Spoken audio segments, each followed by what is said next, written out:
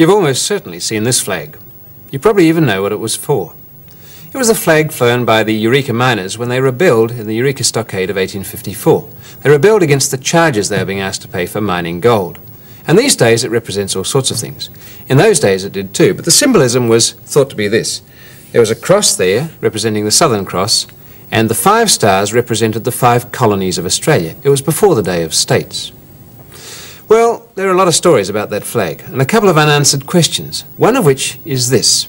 Does that flag have anything to do with this flag? You see this flown along the Murray. It's flown by the paddle steamers there, it's even flown by small boats, and Murray Towns flag. In fact, it's often known as the Murray River flag. If you look at it, you'll notice very interestingly in the top right-hand corner, there's a cross with the five stars, rather like the Eureka flag. Well, its story, the story of that flag really starts in the heyday of the paddle steamers. And they used to go up and down the Murray and its associated rivers looking for trade. There are a lot of them. There's still a few today, but the first of them was built in 1853, and it was the Mary Ann. Now, nothing is left of the Mary Ann today except her boiler. And it's a monument on the foreshore beside the river at Mannum. You can go and inspect it.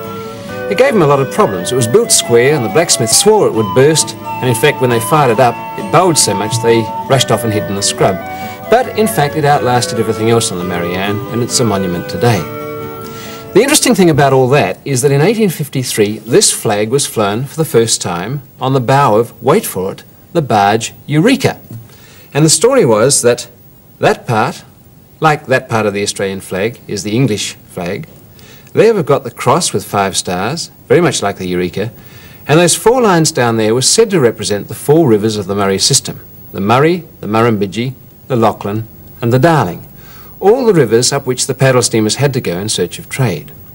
So the question is really this.